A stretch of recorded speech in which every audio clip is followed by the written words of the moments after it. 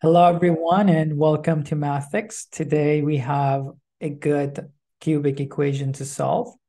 And before we get started, go all the way, find the subscription button and click on it. I'm making a lot of videos like this. Is it possible for x to be a negative value? If x is negative, x cubed will be negative. This would also be negative. And the sum of them will also be negative, not 520. Okay, so x will definitely be larger than zero. We already know that. Now let's just try our luck. We either find x or at least arrange for the value of x. If x is 7, this will be 350. If x is 8, 512 plus 8, 520. So this is actually the solution to the question. Okay. Does that mean the equation is and the solution is over? No, because there might be two more solutions that we don't know. So uh, I'm going to take this 520 to the left.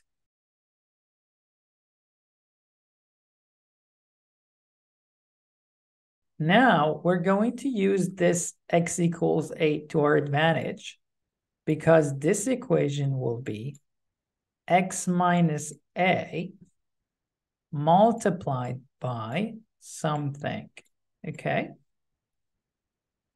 To find this equation, we need to divide this by this, okay? Now let's go and do that. I'm going to put a line here.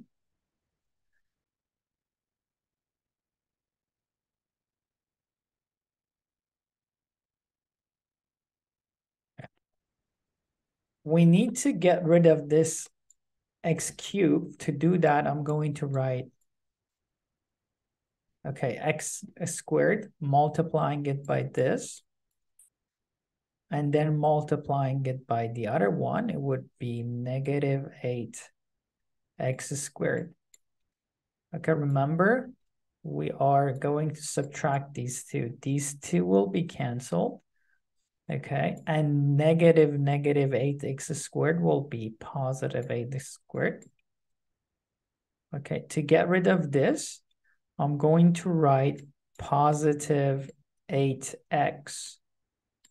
Why? Because this multiplied by x will create the same thing.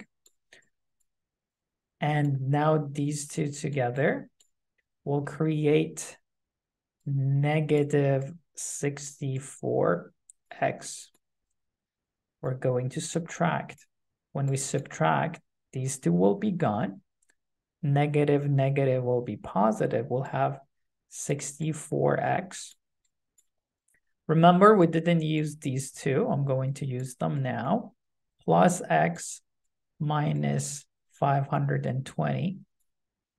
Okay, which will be uh, 65x minus 520. Okay, so uh, the final thing would be positive 65. And then the same thing will be created here. Uh, minus 65x minus 520. Okay, this will be zero again. This looks exactly. Okay, so we were only looking for this and now we have it. So I'm going to write this as x minus 8.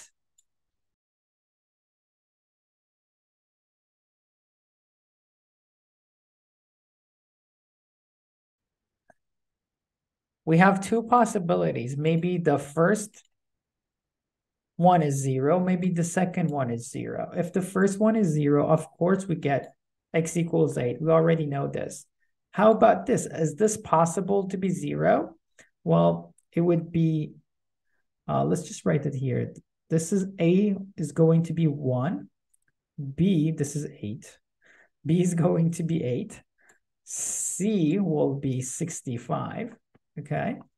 And now let's see, we know that the two roots will become negative b plus minus square root of b squared minus 4 AC divided by 2A. Okay, now let's apply this.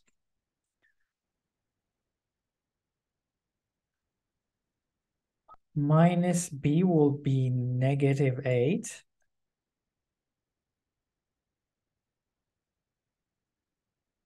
Positive, negative. B squared will be 64 minus 4AC will be 260.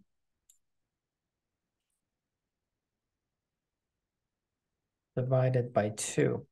Okay, so if I want to simplify this, uh, it will be, again, what is 64 minus this 196? Okay, it will be negative 8 and I'm going to write it as square root of 196 multiplied by square of negative 1 divided by 2. Okay, this is negative 1. Okay, we're going to write this as i because it's the complex number. Okay, and this will be 14 Okay, so the final answer would be this, negative 4, positive negative 7, I, okay? So I hope you found this video useful. If you did, please again go, you know what to do. Uh, that's enough for today.